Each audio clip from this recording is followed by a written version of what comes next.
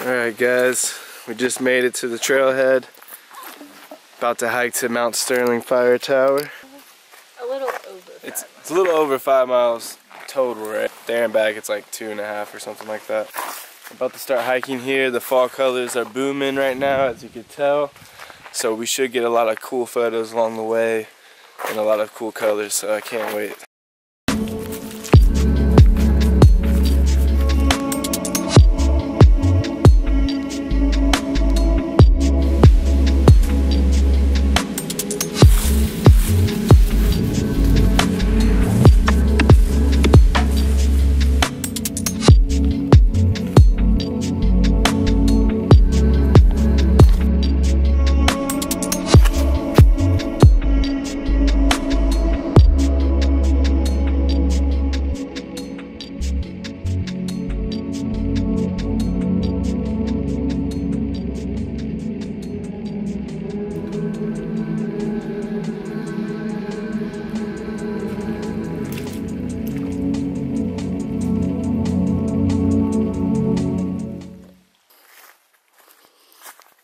What is it?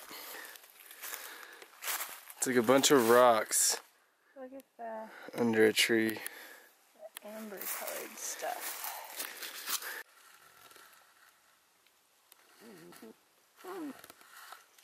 Looks like you found some tree sap. It's just oozing down this tree. I see a sign. Let's see. Finally made it to the ridge of the mountain. I think we have about 0.5 miles left, give or take, to the fire tower, so we should be getting there pretty shortly. Don't see a fire tower yet. It's close because no horses are allowed beyond this sign. So this is for horses. That's pretty cool. Be cool to see some horses. It's actually one place, a state park in Virginia, just outside Tennessee, that has uh, wild ponies just roaming around. That's gonna be next on the list. Some kind of metal structure over here. We've arrived at the fire tower. In this universe, there is one great energy, and we have no name for it. People have tried various names for it, like God, like Brahman, like Tao. But in the West, the word God has got so many funny associations attached to it that most of us are bored with it. When people say God the Father Almighty, most people feel funny inside. But according to Buddhist philosophy, all this universe is one tathata. That means 10,000 functions or 10,000 things, one suchness. And we're all one suchness. And that means that suchness comes and goes like everything else because this whole world is an on and off system. As the Chinese say, it's the yang and the yin. And therefore it consists of now you see it, now you don't, here you are, James here you are, not here you aren't. Because that's the very nature of energy to be like waves, and waves have crests and troughs. Only we, under, being under a certain kind of sleepiness or illusion, imagine that uh, the trough is going to overcome the wave or the crest. The yin, the dark principle, is going to overcome the yang or the light principle. And that off is finally going to triumph over on. And we, shall I say, bug ourselves by indulging in that illusion.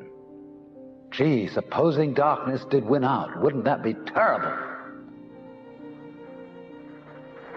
And so we're constantly trembling and thinking that it may, because after all, isn't it odd that anything exists?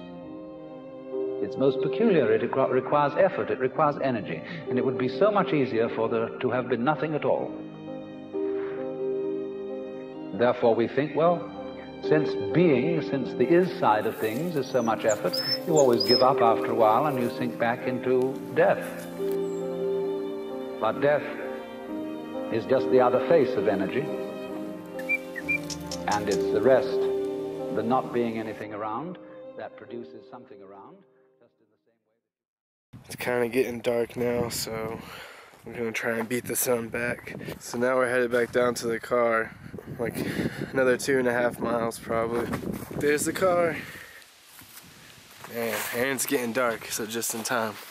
Probably a seven or eight out of difficulty just in terms of how steep it is. Uh, it's relatively short, it's only like six miles total. I would hike it as soon as you can. Hope you enjoyed it. Peace out. Good job.